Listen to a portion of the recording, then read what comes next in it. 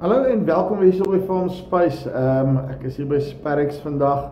Ons het so 'n bietjie beplanning gedoen en so voorts vir die jare en toe wys Cornel vir my 'n baie cool ding. Sukkel jy met jump start op die trekkers, jy weet jy koue so deurkom en dan wil niks start op die yard en so voorts nie.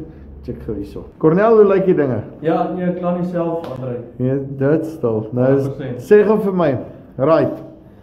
Jy weet koue wat deurkom, daai tipe van goeters, dan wil hulle trekkers op nie start nie, batterye gewoonlik probleem. Nou jy sê jy het 'n oplossing en ek kan hom tot verkeerd omkoppel. Ek kan nie eens die ding blaas nie. Verduidelik my. Jy is heeltemal korrek.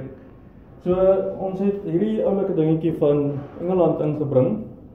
Dis ons ultra capacitor jump starter. So sy hoofdoel is obviously om 'n dooie battery weer aan die gang te kry. Wat nice is van hom dat as hy die pole verkeerd opstel swart op rooi of rooi op swart Ja. maak nie saak. Hy is beskerm daarteen. So hy het 'n interne backup battery wat hy gebruik. Wanneer jy hom aansit, sal hy vir jou wys daar's 15% battery oor. Yes. Ekskuus. Alraai, so die backup battery het nog 15% kraglewe oor, wat beteken hy sal jou battery baie maklik aan jumpstart. Sodra jy hom opgekonnekteer het, gee dit so 10 sekondes. Hy sal vir jou dan op die skerm sê jumpstart ready. En dan gaan hy. Dan Maar nou hoe werk hy? Want want hierdie ding is nie dis dit is dit is 'n jumper of wat hy al Wel, dis 'n jumpstarter ultra capacitor, so hy sê ook vir jou of jou battery moet vervang word, hoeveel krag in jou battery oor is en of hy maar net te min krag het om te start. Die goeie ding is daarvan is hy het 'n backup battery booster. Ja. So as jy 'n kar byvoorbeeld moet start wat sonder 'n sleutel start. Daar kom die volgende in, sodra jy jou wys dat hy Ah. jumpstart ready, dan druk jy die booster knoppie en dan kry ek hy sê en dan kry jy daai search om die klas te los en hy start jou voertuig as dit van daai is wat sonder die sleutel start. So hierdie ouetjie kan jy dan charge of met jou sigaret lighter port Yes. of per krag. Hy kom met 'n USB kabel en hy kom ook met die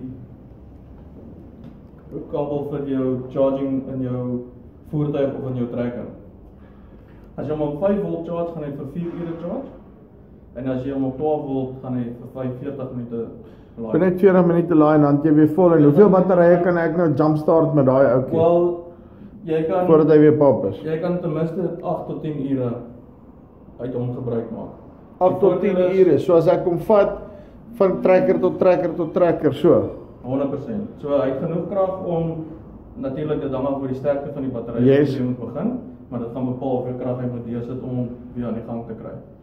Maar dit lyk vir my regtig Want Andre, hy is fantasties. hoe klein. Kyk hoe klein is hierdie ding. Waar En- waar kruip hy met sy battery weg? En ek sal vir jou sê hy is ongelooflik lig. Daar's geen hassle om te dra. Jy kan hom net agter die bakkie ingooi. Gooi hom agter die bakkie. En daar sal hy ook vir jou sommer vinnig op die boks vir jou net verduidelik ook.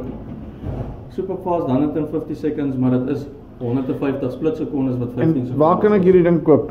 Soms ook. Hierdie is beskikbaar by alle handelaars Yes. wat Spanix produkte aanhou en dan ook direk by ons in Durban, Kaapstad En ek kan hom op die webwerf ook kry. Moet net Hy is sê op die webwerf ultra beskikbaar. capacitor gaan soek Hy is op sy jumpstart. is op die webwerf beskikbaar. Sy partnommer is beskikbaar. Jy kry 'n oulike boekie wat saam met hom kom wat vir jou alles verduidelik van wat ons nodig het om te gebruik en as daar fout gaan wat die oorsaak daarvan kan wees. Maar dit is 'n fantastiese produk. Ek kan ook net vinnig wys ook 'n O, is dit tot 'n liggetjie ook? Jy kan in die nag met hom werk of daar waar dit ook al donker is, as jy nie moeilikheid Baie is. cool. En ek kan tot 'n disko gooi. as jy laat aan Vrydag aande op die plaas. Daarso. Daarso sê. Right, so. Nou weet jy, jy het nie meer verskoning om daai pap batterye te sukkel nie. Ehm um, ek sou so enetjie nogal kon gewerk het daar by my chak hom agter die seat in. So sit vir julle sommer 'n link hierso na daai spesifieke een toe ek sal hom gaan search en hom klaar in die link insit. Hierbo of hier onder afhangende van waar jy hom kyk. En dan kan jy hom sommer op hulle webwerf gaan order. Dis hier van Farm Spice af. Tot volgende keer. Groete.